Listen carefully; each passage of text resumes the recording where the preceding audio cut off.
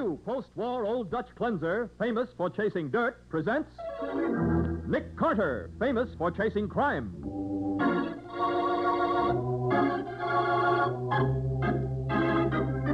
Every week at this time, two great names are joined as new post war Old Dutch cleanser brings you one of the most resourceful and daring characters in all detective fiction Nick Carter, Master Detective.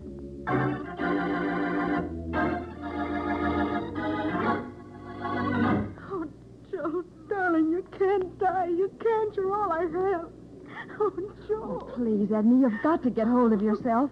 Hey, uh, Nick, uh, you think there's any chance he'll live? Afraid not, Matty. I doubt if he ever regains consciousness. Poor Joe. Both Nick and I like him so much, Sergeant. Yeah, I know, Patsy. I guess it's better for his wife if he dies. What? Why, Sergeant, what in the world do you mean? Even if the doc saves him, it'll only be for the electric chair. Now, the case of the clue called X. Today's adventure starring Lon Clark as Nick Carter, brought to you by new post war Old Dutch cleanser. When Joe Gibbs used to deliver the Evening Gazette after school, Nick was his best customer. And when Joe grew up and got into trouble with the law, Nick helped him get a parole from the state penitentiary. Then, when Joe married Edna Marsh, he asked Nick to be his best man, and Patsy Bowen, Nick's assistant, was bridesmaid. And so today, at 10 in the morning of their first anniversary, it's Nick and Patsy that Edna has come to because Joe's in trouble again. Joe never did a wrong thing in his life when he was sober, but when he's drinking, he goes crazy or something. But, Edna, you told me only last week that he hadn't touched a drop since he got his parole. As a matter of fact, the parole board forbade him even to enter a barroom. He didn't either, Mr. Carter. Not until yesterday. And what happened yesterday? Well, we we had a fuss. Not about anything important, but it was the first time we'd ever quarreled. Oh, now, Edna, stop it. This isn't doing any good. I know. Well, Joe got all upset and he slammed out of the house. That was about two o'clock. Uh-huh. He didn't come home until early this morning. Where'd he been all that time? I didn't know, but I could see he'd been fighting. There was a cut place on his chin. His new suit was all dirty and wrinkled. He was a pretty unhappy guy. Edna, honey, I'm sorry. Oh, I'd give ten years out of my life if I hadn't gone into Barney's place yesterday. Oh, don't worry about it, Joe. I know you won't do it again. I was to blame anyway for nagging at Oh, you. you're not to blame for anything, not for anything. The cops come here. I want you to remember that. Cops? Oh, you mean because you broke your parole? Yeah, sure. That, that's what I mean. Because I broke my parole. Oh, they probably don't know anything about it. Oh, come on, darling. Drink your coffee. I'll try to clean your suit up. Gee, you're swell. Silly. Just look at this coat. Dirt all over it. Blood. Blood. Yeah, from that cut on your chin, I Oh. guess. Yeah, sure. Sure, that's where it's from. Here, take your cigarettes and your wa- Joe, What's the matter? there's a ring in your coat pocket. A ring? A diamond ring. It looks real. What, I... I... Joe, where'd you get it? What, I... Well, this is our anniversary, ain't it? I always said I'd... Joe, please don't lie to me. This is a man's ring. I'm not lying. I'm... I know you. You stole it, didn't you? No. Oh, you can tell me the truth, honey. It won't make any difference But, to me. Edna, I- I'll keep on loving you even if you killed somebody. Huh? Why'd you say that? Say what? Say that about... About me killing somebody. Because that's the way I feel. Oh, Joe, you've got to take this ring back. I can. It's too late. It's I not too late, Joe. Look, you can explain to me you didn't know what you were doing. Edna, please, please leave me alone. I'm almost crazy now. But Joe, I can't take anymore. I'm getting out of here. Joe, don't. You should have known better than to marry a jailbird. Joe, come back, please. I... Joe. Joe. And you don't know where he went when he left the house? No, I, I don't. Well, what do you want Nick to do, Edna? Well, I thought maybe if he could find out where Joe got the ring and give it back, maybe they wouldn't have him arrested. But, Edna, you don't know that he stole it. Oh, couldn't have got it any other way. You say he was at Barney's place yesterday. That's what he said. Well, I'll go around there now and see if I can find out anything. Oh, Mr. Carter, would you? Yes. You got a picture of Joe? Yes, I always carry one in my purse. Good. Yeah, here it is. If Joe's in trouble, I'll certainly do whatever I can to help him.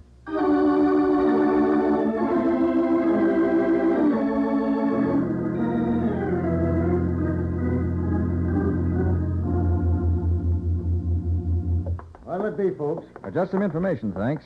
Uh, you, Barney? Yeah. What can I do for you? Uh, here, Nick. Here's the picture. Show it to Barney. Right. Can you tell me if that fellow was in here last night? Let's see. Oh, sure. That's Joe Gibbs. Then you know him. Yeah, he works for the company that's been putting in my new sprinkler system. Sprinkler system. You know, one of them automatic things that puts out a fire before it even gets started. Oh. Turns in the alarm and everything. And Joe installed it, is that right? Yeah. Took him about ten days, so we got to know each other pretty good. Did he ever take a drink while he was working here? No, I never seen him take a drink till last night, but he sure made up for lost time then. Uh, did he behave himself while he was here last night? Oh, sure. Uh, him and some friends sat here right in that there booth, shooting the breeze all evening. Who was the friend, you know? Somebody he met in here, I guess. Guy about my size, maybe 50 years old, gray hair, pretty good clothes. Did he and Joe leave together? I wouldn't know about that. You see, I was only in here from 7 to 8 while Pete, that's my bartender, went out to eat. They were still here when I left. Then we'd better talk to Pete, hadn't we, Nick? Yeah, might be a good idea. Well, I guess you'd find him at home. He never gets up till noon. Can you give us the address? Well, sure. I'll write it down for you. Yeah, Joe was a nice guy. Say, I hope he ain't in any trouble. I hope so, too. But I'm keeping my fingers crossed.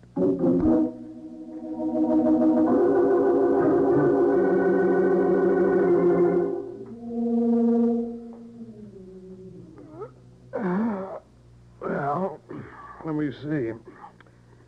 I got back to the bar about 8.30. Hey, wait a minute, Pete. Barney said it was eight. Well, that's when I was supposed to be back, but Barney asked me to stop at the drugstore and get him a bottle of that uh, dope he uses on his hair. Well, he uses enough of it. He looked like a wet seal. Yeah, he plasters it on all right. Well, it was all out of it, and I had to run all over looking for the right kind. Barney's awful particular about his hair, you know. All right, so you got back at 8.30. Joe was still there? Yeah, yeah. Him and this other guy was all alone in the place, just like when I left. There's never anybody in at that time of night. Barney's trade don't go for cocktails. Yes, I know. Kind of, Did Joe leave with his other man? uh-huh. Just a few minutes after I got back. By that time, they'd both had too many. Why, this other guy, he was at the place where he was losing things and accusing people of taking them. What did he lose? Well, first it was his overcoat. He claimed I must have lifted it, till I showed it to him hanging right on the end of the boot. Well, what else did he lose? Well, and next it was his keys. According to him, they was in his overcoat, and he went through all his pockets looking for them. Here, wait a but he wasn't. He didn't lose a diamond ring, did he? No. But it's funny you'd say that. Why, Pete? Because that's what him and Joe was talking about all evening. The guy sells diamonds, I guess, and Joe was saying he wanted one to give his wife for an anniversary present. Nick, we're on the right track. You don't know the other man's name, do you, Pete? No, but he's got an office in the Wellborn building. I know because I heard him telling Joe they'd go up there and look at some rings and stuff. Nick, let's go over to the Wellburn building now. Maybe the man hasn't even missed his ring yet. I hope you're right, Patsy. It's our only chance to keep Joe out of really serious trouble.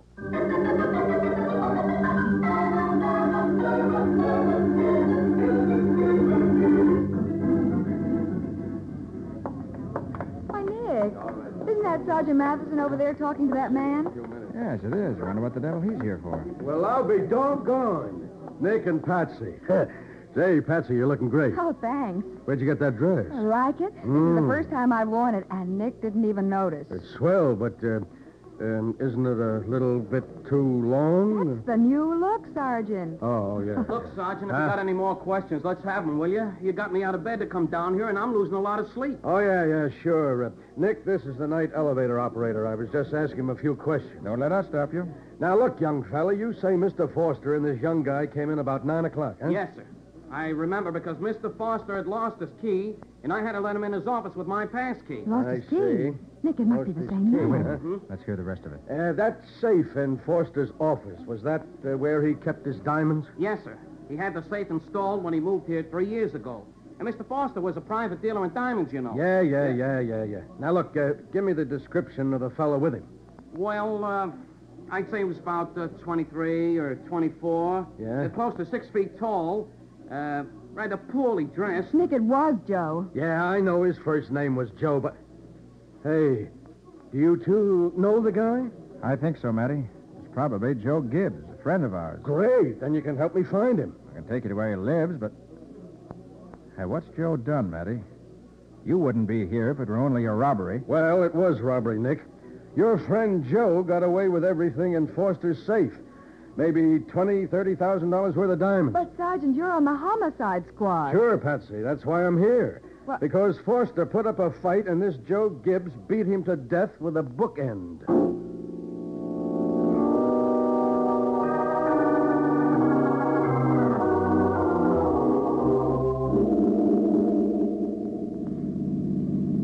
You better park here, Matty. Right. Joe lives in that tenement above the fruit store. Okay, Nick.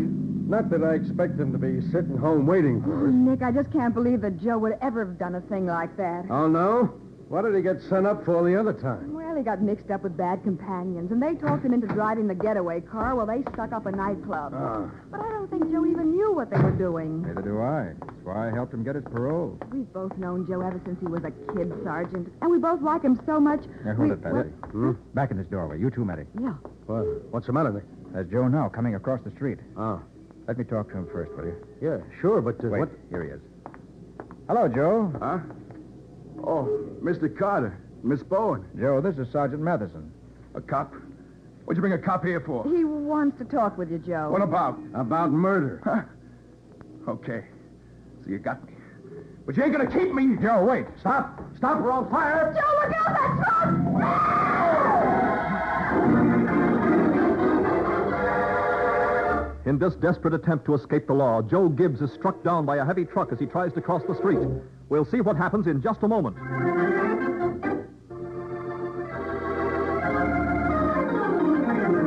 Now back to the case of the clue called X. Today's adventure with Nick Carter, brought to you by new post-war Old Dutch cleanser. It is a few minutes later. Edna Gibbs is kneeling beside the unconscious body of her husband Joe, where he lies in the street in front of their tenement house after being hit by a truck while attempting to escape arrest. He's dead. Oh, Mr. Carter, Joe's dead. No, Edna, he's still alive. The ambulance will be here in a few minutes, and we'll know what his chances are then. Oh, Edna, don't. Joe's going to be all right. I know he is. I don't care what he did. He was... Oh, Joe, Joe. Hey, uh, Nick. Yes, Matty? Come over here a minute, will you? Okay. What's on your mind? You uh, think there's any chance for him? You'll have to ask the doctor about that. I doubt if he ever regains consciousness. Uh, better if he don't, I guess, for his wife's sake. If the doc can save him, it'll only be for the electric chair.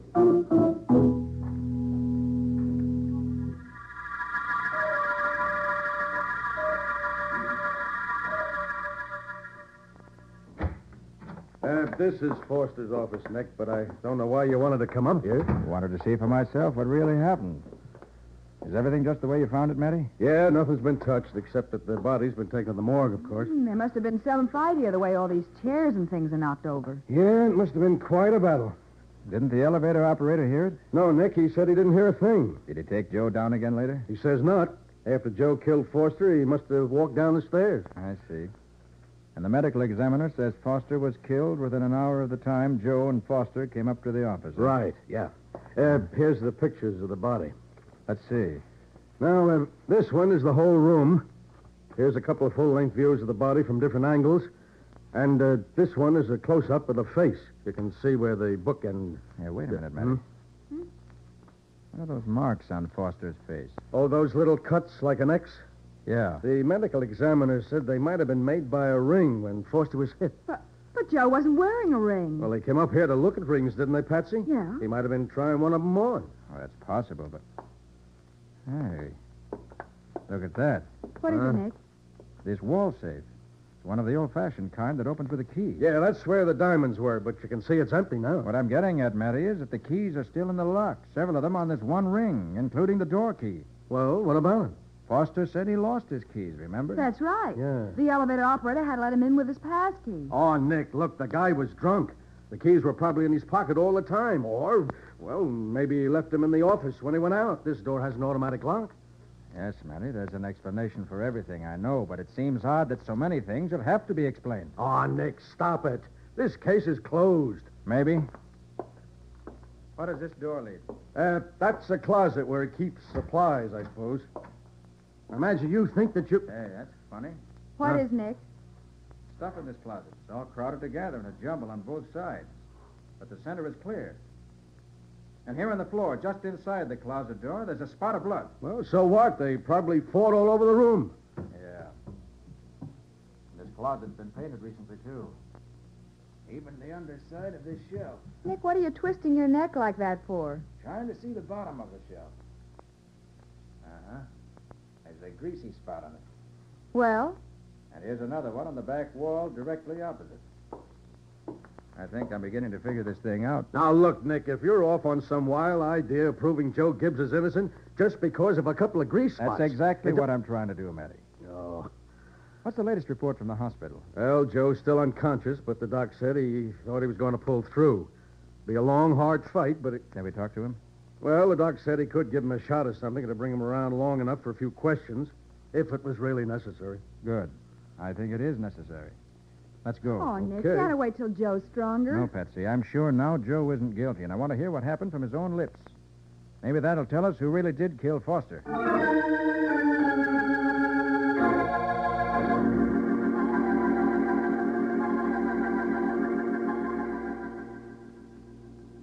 Injection should take effect in a few seconds, Sergeant. Okay, Doc, thanks. Hey, Matty. What? Look at that cut on Joe's chin. Yeah. It's like an X. The same as we found on Foster's face. It's already beginning to heal. Why, it couldn't have been made by that truck. That only happened a couple of hours ago. Nick, Yeah. he's opening his eyes. Joe. Joe, can you hear me? It's Nick Carter. Yeah. I hear you, Mr. Carter. Joe, tell me the truth. Did you kill Henry Foster? I. Oh, what's the use? Sure I did. Uh-huh. But, Joe, why? Not for the diamonds. You were never a thief. I I wanted to get a ring for Edna. I always promised her one. I guess that was it. I don't know. Okay, Joe. Better not try to talk anymore. It's funny. I don't even remember fighting with her, but You don't remember it? no. Last thing I know, we were sitting in Barney's, talking about diamonds he had in his office. And me saying I wish I could buy one for Edna. And then you went up to the office to look at him? I Guess so. Because when I come to about five o'clock this morning, I was laying on the floor there. I knew I'd been fighting again. You mean from the condition of the room? Yeah, and my jaw was sore where he'd socked me. And I seen him laying there, dead. Go on, Joe. That's all. I got down the stairs without anybody seeing me and went home. Didn't even know I took the ring till Edna found it in my pocket, and and You better not talk anymore, Mr. Carter. All right, Doctor. I found out all I need to anyway. Mr. Carter, would you and Miss Bowen please kind of look out for Edna after. after Don't worry, Joe. You just take it easy and get well. Unless I'm mistaken, you'll be taking care of Edna yourself for a good many years to come.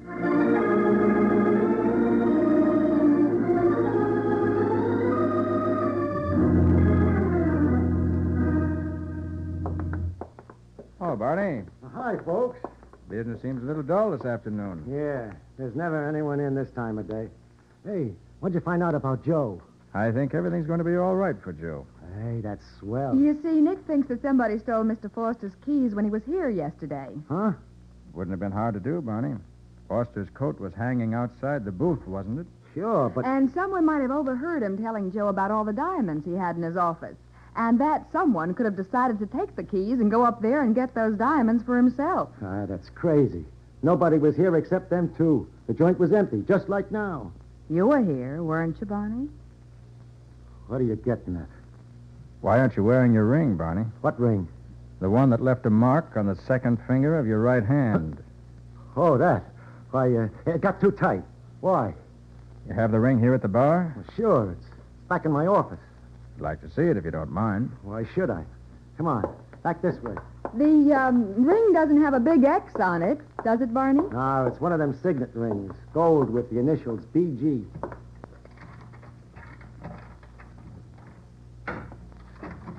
Here's the office. Step in. Okay. No. Inside with you, two sister. You hit him. Sure, a blackjack is just the thing for taking care of snoopers. Oh, Nick. Nick, are you all right? Get away from him until I get his rod. Yeah. A shoulder holster, huh? So you're the one who killed Foster. Hmm. Maybe that'll learn you to keep your trap shut. Well, how do you like my office? Office. Why, this is a. It's a storage room, sister. Nice thick walls and no windows. You'd stay here forever and nobody'd ever know. You aren't going to keep us here. No, I ain't gonna keep you here long. But first I'm going out in the bar and put a few nickels in the jukebox. And turn up turn it up loud, just to be sure nobody hears the shooting. The- That's right, baby. Because I'm coming right back to take care of you and your nosy friend. For good. As Barney leaves the storeroom, locking the door behind him, Nick lies unconscious and unarmed, helpless to protect himself or Patsy from the coming attack. We'll see what happens in just a moment.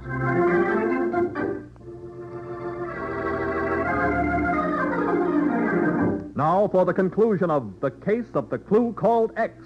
Today's adventure with Nick Carter, brought to you by new post-war Old Dutch Cleanser. Locked in the almost soundproof storeroom of a tavern called Barney's Igloo, Patsy frantically tries to rouse Nick before Barney can return and kill them both. Oh, Nick, open your eyes. Please, Nick. Oh, Oh, thank you. Oh, what happened? When you turned your back, Barney hit you with a blackjack. Here, let me help you up. Oh, my head. Oh. Hey, what happened to my gun? Barney took it. He, he's coming back to kill us, Nick. We better get out of here. But we can't, Nick. The door's locked and there's no window. Yeah. He said he'd be right back, and that was almost five minutes ago. Maybe a customer came in and he's waiting till the place is empty again. Oh, Nick, don't just stare at the ceiling. You gotta think of something. That's what I'm doing, Patsy. I think I've got it. Oh, good. Here. Yeah. Help me pile some of these beer cases under that little metal rosette. The what? Up there in the middle of the ceiling. It's an automatic water sprinkler, the kind that goes into action when the temperature reaches a certain point. Oh, Nick, this is no Hurry fun. up, Patsy. If Barney gets back before we're through, we'll be. There. I think that's enough. Now let me hold onto your shoulder while I climb on top of these cases. All right, but oh, careful, Nick. I'm all right. Okay. Oh, now, if I don't have a match. Yeah, here's one. Oh, Nick, I don't know what you're doing, but I'm getting ready to give us both a shower bath. a what? Holding this match under this sprinkler outlet should provide enough heat to. Nick, it worked. And the alarm bell's ringing. That ought to attract plenty of attention. In a few minutes, this place will be swarming with firemen. Oh, Nick, you're wonderful. Barney won't dare try anything now. You bet he won't. Ooh, that is cold. I'm freezing. Sorry, Patsy, but just remember, we're making it plenty hot for Barney.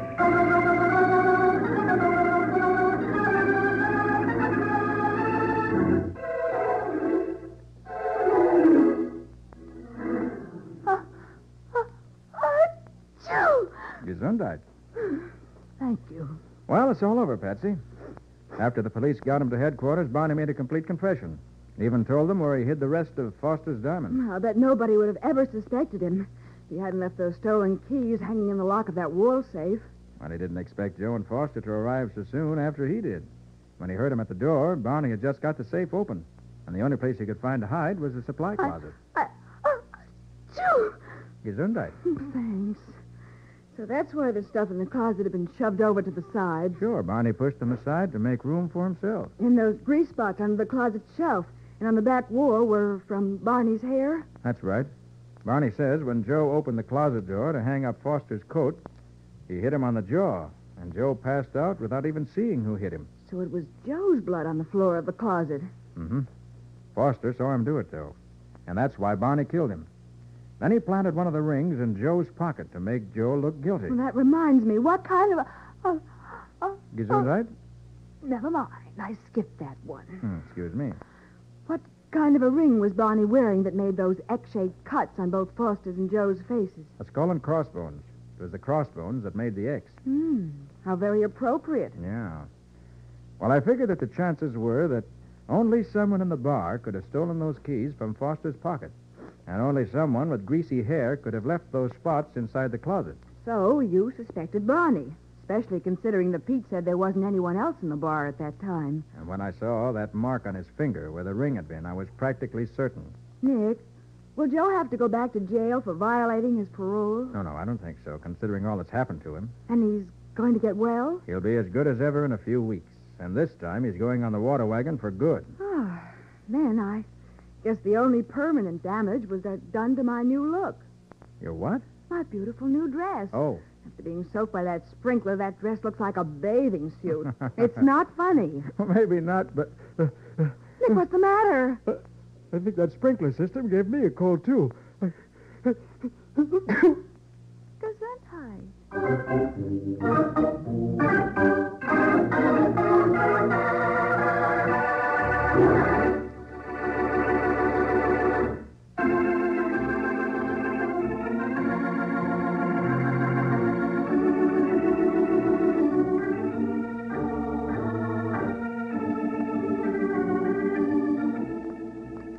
Nick Carter, Master Detective, is presented each week at this time by the Cudahy Packing Company.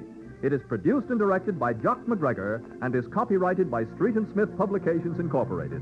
Charlotte Manson is featured as Patsy. Ed Latimer plays Matty. Today's script was written by Jim Parsons. Original music is played by Henry Silverne. This program is fictional, and any resemblance to actual persons, living or dead, is purely coincidental. This is Michael Fitzmaurice saying, when minutes count, use new post-war Old Dutch cleanser.